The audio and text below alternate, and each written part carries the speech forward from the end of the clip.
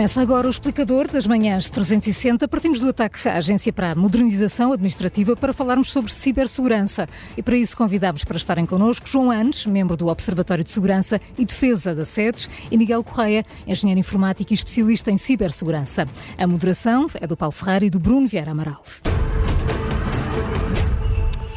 Muito bom dia, obrigado a ambos pela disponibilidade para estarem neste explicador nesta manhã. Este é um caso que, cuja informação pública ainda é escassa. Sabe-se que na quinta-feira a Agência para a Modernização Administrativa, a AMA, foi alvo de um ataque informático. O governo disse nas últimas horas que não existe evidência de roubo de dados pessoais neste incidente. João Antes, bom dia, começando por si. Partindo disto que se sabe, eventualmente outras informações que um especialista também uh, tem, naturalmente, que ponto de situação é que pode uh, fazer sobre este incidente? Muito bom dia, Paulo, Bruno, todos os telespectadores, todos os telespectadores. Todos os ouvintes. também também, também podiam ser também, telespectadores, também, também podíamos estar com vídeo. Exato. É verdade, é verdade. Estou, estou aqui a fazer o, o, o shift também, tal como a AMA e, e, e, muitas entidades que tiveram que colaborar para responder a este incidente, também tenho que fazer aqui a minha própria mudança de mentalidade de, de um comentário mais televisivo para um comentário mais de rádio e muito me honram um convite. Uhum. Uh, de, relativamente ao ponto de situação, portanto, desde, desde este ciberataque sobre a Agência de Modernização Administrativa e um conjunto de serviços digitais que presta a toda a sociedade e a, e a um conjunto eh, muito grande de entidades públicas, eh, aquilo que podemos ver neste momento é que já começa a haver restabelecimento de um conjunto de serviços àquelas entidades que, diria, eh, do ponto de vista da priorização pelo impacto societário que, te, que teve este incidente, que seriam as mais prioritárias. Portanto, seja a Autoridade Tributária, o IGFES, no Presidente da Justiça, SPMS, Segurança Social, a Imprensa Nacional Casa da Moeda, e, e porquê? Porque todas estas entidades uh, também se suportavam em serviços prestados pela AMA para disponibilizá-los a, a, utilizadores, uh, seja no Serviço Nacional de Saúde, seja a advogados no âmbito da assinatura digital uh, e, a, e, a, outras entidades. Ou seja, João, antes, de uma forma ou de outra, estamos quase a passar uma semana desde o incidente, pelo menos o incidente original, foi na quinta-feira da semana passada. De uma forma ou de outra, todas essas entidades foram tendo problemas ao longo destes dias? Uh, houve alguns serviços que se suportavam em serviços digitais prestados pela AMA que sofreram algumas, uh, sofreram algumas uh, uh, degradação ou indisponibilização. Portanto, uhum. seja o serviço de autenticação.gov, que nos permite autenticar em alguns serviços em websites do governo, seja ao nível também de assinatura digital de documentos, e também ao nível de, do identidade.gov. Uh, Mas é, o impacto não é, não é, apenas para os funcionários que utilizam uh, estes, estes recursos. Para o cidadão comum também tem algum impacto? Naquele, nesse caso, teve sempre algum impacto, porque houve algum, algumas formas mais eficazes e eficientes que uh, algumas, alguns profissionais seja no setor da saúde, seja noutros setores, uh, uh, também podiam usufruir através destes serviços da AMA, que ficaram indisponíveis. Portanto, algumas, alguns serviços prestados acabaram por demorar mais tempo, algumas, algumas prescrições médicas e outras podem ter sido adiadas, enquanto, uma vez que era mais difícil fazê-lo por via digital. Hum. Mas isso também, isso, portanto, mostra eh, em primeiro lugar, o risco da centralização eh, eh, de dependências de vários serviços do Estado de uma única infraestrutura digital. Portanto, cria esses riscos têm que ser geridos aplicando medidas de segurança muito robustas, capacidade de detecção e segregação de funções, ou seja, não significa que não devam ser centralizados esses serviços que depois são prestados a dezenas ou centenas de entidades. Isso pode acontecer, mas têm que ser acompanhados de um programa de cibersegurança bastante robusto, justamente para não, não se tornarem, em vez de se tornarem um ponto único de eficácia e de eficiência do, e de eficiência do Estado, não podemos permitir que se torne um ponto único de falha uh, uh, que depois possa impactar diversos serviços que são prestados à sociedade.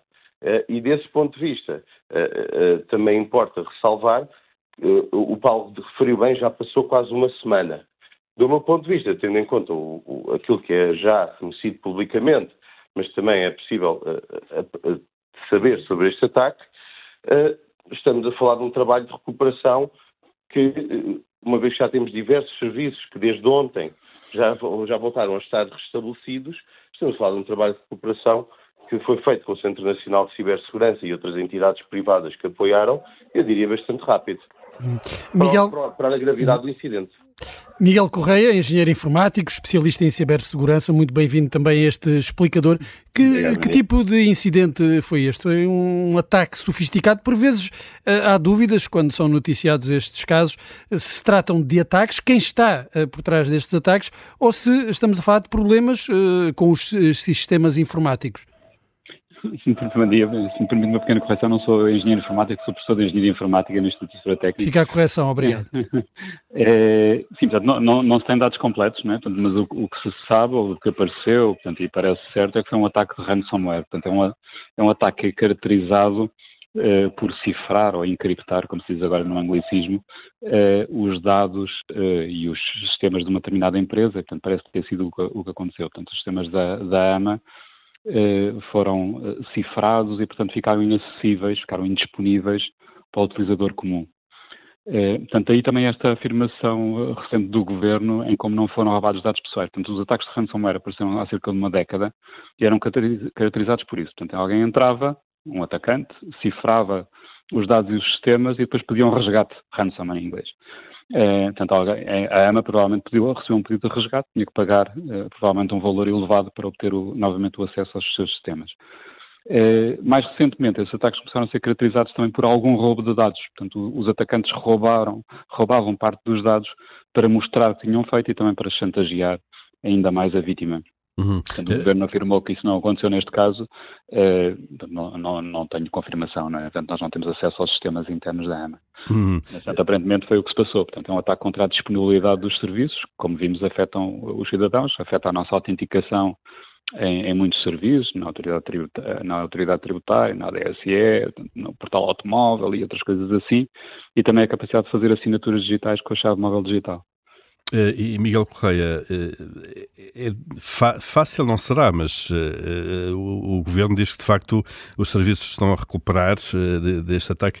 é um processo que pode demorar tempo, mas que tecnicamente não é assim tão complicado, isto é, ultrapassar este ataque de alguma maneira e voltar a repor a normalidade destes serviços?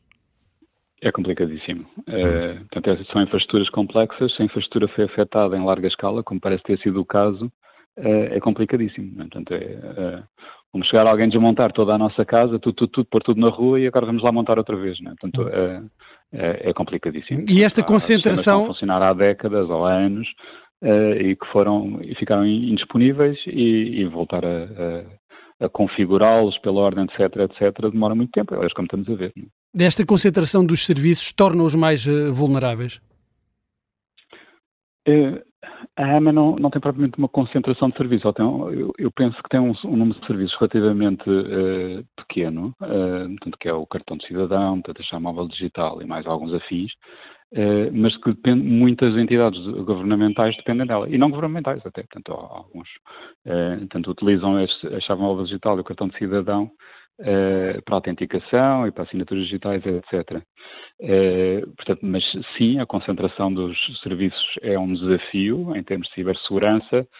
A sua uh, replicação também é um desafio, não é? Portanto, quanto mais cópias, se houvesse várias AMAs a oferecer estes serviços, haveria mais alvos Portanto, não haveria um impacto tão grande de todos deixarem de funcionar ao mesmo tempo, mas poderiam mais, mais frequentemente alguns deixarem de funcionar. Hum. Uh, João, antes uh, da, informação que é pública também, a forma como as entidades envolvidas reagiram a este ataque, quer tecnicamente, quer também na prestação de informação pública, esteve bem ou hum, há aqui correções a fazer? Bem, do meu ponto de vista, a resposta coordenada com o Centro Nacional de Cibersegurança correu justamente como se previa e como seria desejável. Eh, e, portanto, isso também não é, eh, não, não seria de esperar de outra forma, uma vez que eh, a AMA já participou em exercícios de cibersegurança também com com com o Centro Nacional de Cibersegurança e, e compreende o papel do Centro na coordenação e, e no apoio que tem que fazer na resposta ao incidente. e também percebe-se também que é uma oportunidade não só para entidades públicas, mas entidades privadas poderem apoiar na, nos esforços de recuperação. Existe, a, a complexidade é, naturalmente é muito grande e faz com que, por vezes, a comunicação seja uh, parca.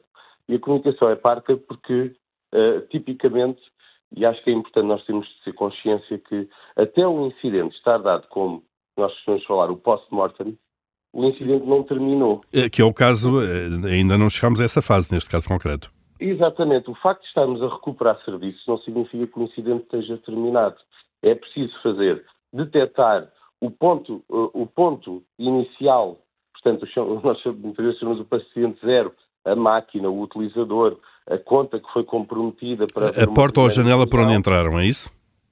A janela por onde entraram e outra coisa, porque quanto mais sofisticado o atacante, mais preparado ele está para, para, ganhar uma coisa chamada persistência. O que é que isso significa? Ele, antes de desencadear um ataque mais oportunista, uh, abre mais janelas para poder voltar a entrar caso seja detectado. E, portanto, é preciso fazer a erradicação da ameaça. Portanto, ao mesmo tempo, uma das complexidades que o Miguel se refere, e eu acho que isto, uh, uh, consigo explicar isto de uma forma para que os ouvintes consigam perceber melhor, é um bocadinho como voltar a arrumar a casa a seguir a um assalto, ao mesmo tempo que se procura por toda a casa outras, outras uh, janelas e portas por onde o assaltante uh, uh, tenha, possa voltar a entrar, sem termos a certeza absoluta se ele ainda não está dentro de casa. E, portanto, a erradicação da ameaça é uma das. Portanto, imaginem a complexidade disto, não é? Portanto, e, portanto, é uma das principais missões, ou seja, enquanto os técnicos da AMA têm passado dias e noites a trabalhar, e eu aproveito para saudá-los a todos a eles e todos os, todos os profissionais públicos e privados nos últimos dias têm trabalhado incansavelmente para recuperar estes serviços importantes para a nossa sociedade. Uh, mas enquanto uma equipa, que é a equipa, digamos, de IT, de sistemas de informação da, da AMA, está concentrada na preparação da recuperação dos serviços, o Centro Nacional de Cibersegurança com entidades públicas e privadas, está concentrado a identificar o ponto de falha, fazendo análises forenses a máquinas, a sistemas, para perceber exatamente tudo o que se passou desde, o, desde a primeira intrusão até ao despoltar do ransomware, portanto, deste, deste agente malicioso, e depois de trabalhar na erradicação da ameaça. E isso é muito importante também para que a sociedade perceba e as empresas percebam a importância de um papel diferenciado entre uma equipa de cibersegurança, que num caso destes vai coordenar o incidente e trabalhar na erradicação da ameaça, e as equipas de, das, das direções, dos departamentos de sistemas de informação, que o que têm que se preocupar mais é na contenção do incidente e depois na recuperação, nos trabalhos de recuperação dos serviços. Uh, e isto está a ser feito em paralelo e a comunicação é escassa justamente porque uh, o, o, Estado, mas qualquer empresa na mesma circunstância o faria, uh, hum. Precisa de ter muitas certezas sobre aquilo que deve comunicar, justamente para também não ser, uh, não, não se ter que vir contradizer uns dias depois perante novos dados que neste momento ainda não são conhecidos. Hum. Miguel Correia, há poucas semanas eh, o site da IGCP eh, esteve indisponível, houve na altura o receio de que pudessem estar, pudesse estar em causa eh, a segurança dos certificados de, aforro. Os serviços do Estado estão suficientemente protegidos contra este tipo de ataques e, no geral, a sociedade, as empresas estão sensibilizadas para os riscos deste, destes ataques? Isso é uma pergunta interessante. Eu acho que as pessoas começam a estar sensibilizadas, as empresas estão, em teoria, sensibilizadas, na prática, não. As, as empresas e organismos do Estado. Né? Portanto, há uma. Fala-se muito de cibersegurança, muito problemas de cibersegurança, as pessoas têm uma vaga preocupação, uh, mas isso não chega. Né? Portanto, é, é preciso investir, uh, é preciso investir dinheiro, é preciso investir tempo em, em tornar as organizações seguras. Uh, e a, a, motivação que existe parece ser insuficiente. Né? Uh, como é que estão os serviços de Estado é difícil dizer, não é? Portanto, este ataque contra a EMA é um, é um ataque que não parece ser fruto de negligência. Portanto, estes ataques são relativamente inevitáveis, não é? Portanto, podem se tornar menos prováveis, uh, mas há, há, sempre fatores que os permitem. Um erro humano de alguém que abre um e-mail que não devia, ou um anexo de um e-mail que não devia, ou, ou, vulnerabilidades que podem ser atacadas remotamente, que têm infelizmente aparecido.